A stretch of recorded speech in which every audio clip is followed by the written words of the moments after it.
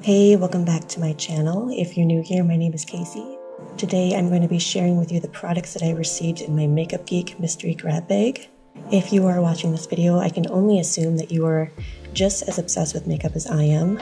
I love all of the makeups, but eyeshadow has a special place in my heart, so I'm so excited for this grab bag since the majority of the products will be eyeshadows. So I'm going to show you everything that I got in its package and then I will unpack everything, put it into a palette and swatch it all for you. In addition to the grab bag, I did pick up one additional item which I'll share with you at the very end.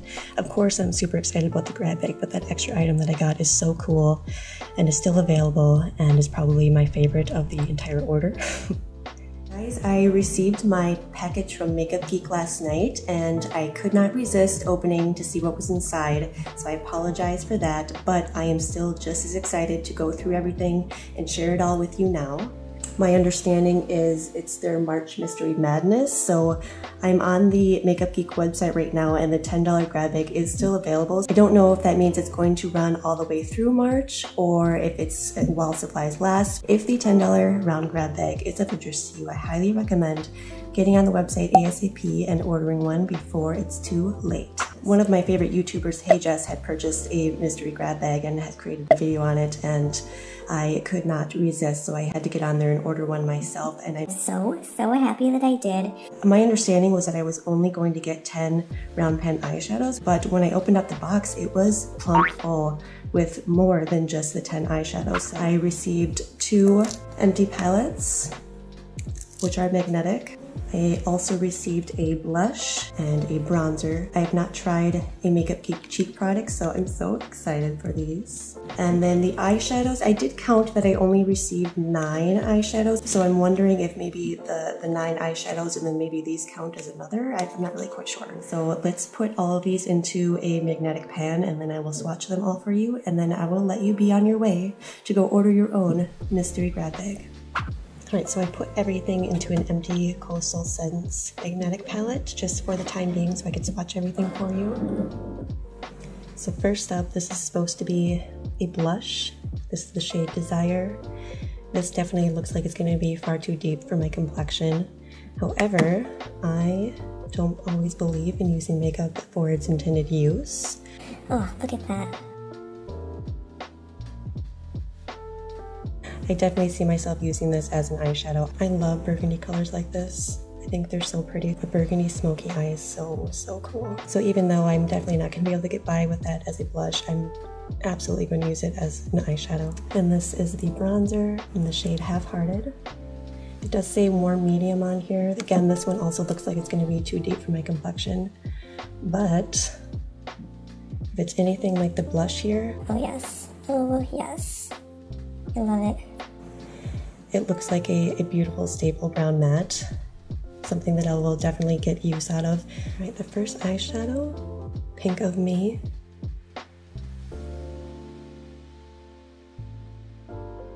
Okay, that's definitely not as vibrant as it appears in pan. I was a little bit intimidated. Oh, I really like it. It's a beautiful baby pearly pink that shade Summer Lovin'.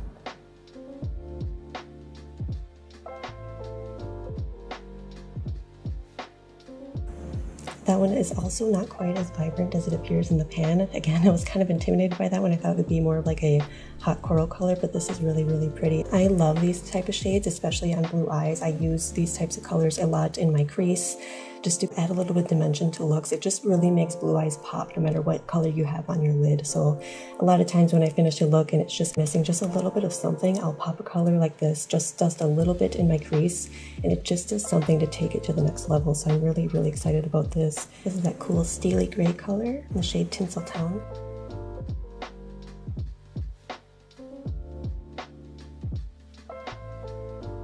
I don't know if the camera's picking it up, but I am seeing some brown tones in there. It's almost like a really cool metal taupe shade. I love it.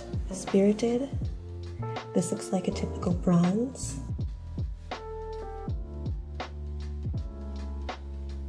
That one was really creamy. That was probably the easiest one to swatch so far. Oh, beautiful. I love it.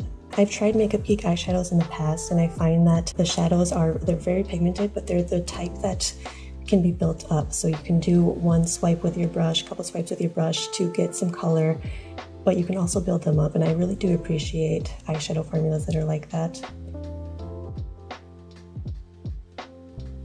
This one looks interesting. That one also looks like a steely gray. Or like a grayed purple. It almost looks a little bit like a duochrome. Like in some lights I'm seeing like a, a reddish brown but then when the light shifts, I'm seeing that like grayed purple. That is really, really interesting. I don't have anything like that in my makeup collection, so that's, I love it.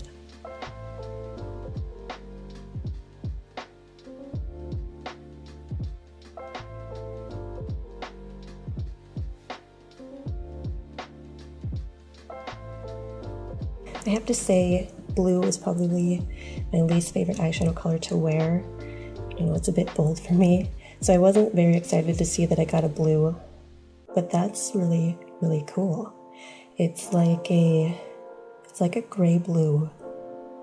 And again, I don't think I have anything like this in my eyeshadow collection, but it's, I like that it's very subtle. Like I can just do a quick swipe and it looks like a really pretty gray blue. I really do like that actually. That's really pretty. I like that it's not like bam blue in your face. It's like a grade blue.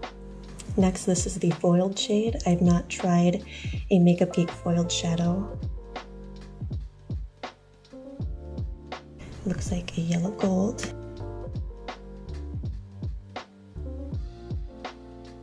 True yellow gold fashion. This one also looks a little bit like a duochrome. I mean, it's it's a yellow gold, but in the shift of the light, I can almost see like an orange gold also. It's pretty cool. We have what looks like a satin ivory. This is the shade Rapunzel.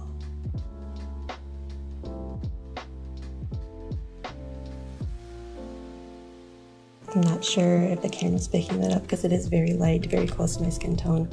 But it is a satin ivory, but I almost am picking up some peach undertones. That is so, so pretty.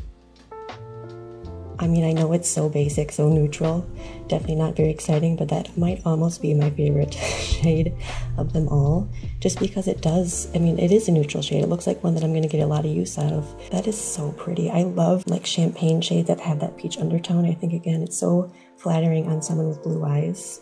And I sometimes find that like satin ivory shades can be a bit harsh. So I appreciate that peach undertone kind of tones down that harshness and makes it a little bit more subtle and delicate on the eyelid.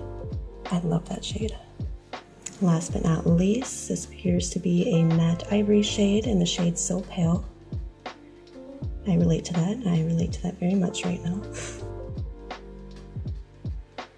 Again, this one is, you know, probably the most boring of the bunch, but I'm still so excited. I, I use, you know, matte ivory shades like this every day that I do my makeup, so I'm not disappointed at all. And I do appreciate, again, in typical Makeup Geek eyeshadow fashion, that one swatch is very light, but it looks like it can be built up. I love that. Love it. So all in all, I'd have to say, honestly, I think my favorites are the two cheek products. Even though I'm not going to be able to use them on my cheeks, I think they're going to make for beautiful eyeshadows. I love how beautiful and brilliant the color payoff is. I love it. Also this coral shade, I'm gonna get a lot of use out of that this summer.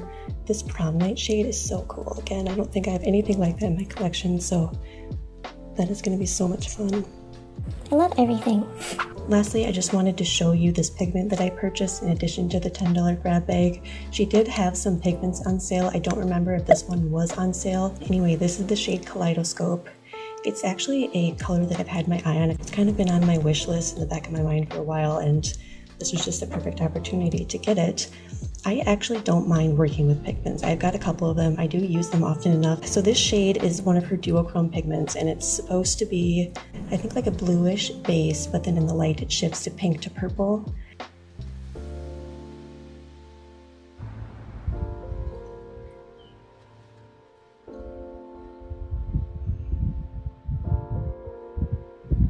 Is from afar, it looks like a like a purplish gray.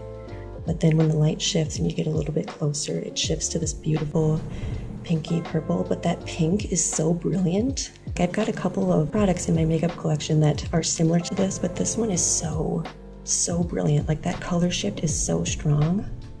So cool. And that pink isn't just like a baby pink, it's almost like a a reddish pink. I don't know how to describe it. If you don't mind working with pigments and you are obsessed with duochromes, I highly recommend this one. This would even be cool with spring and summer coming up and wearing tank tops to mix a little bit of this into your body lotion and to put it across your shoulders, your collarbone, a little bit on your chest. That would be really, really, really cool. That was everything in my Makeup Geek mystery round grab bag. Again, like I said, I believe this is running through March, but it may also be while supplies last. So if this piques your interest, I highly recommend you get on that website right now and order a bag for yourself. Please let me know if you do. I hope that you enjoyed this video. I want to thank you so, so much for your time today. Thank you for hanging out with me. I hope that you hit that subscribe button so you can come back next time. And until next time, I hope you have the most wonderful day.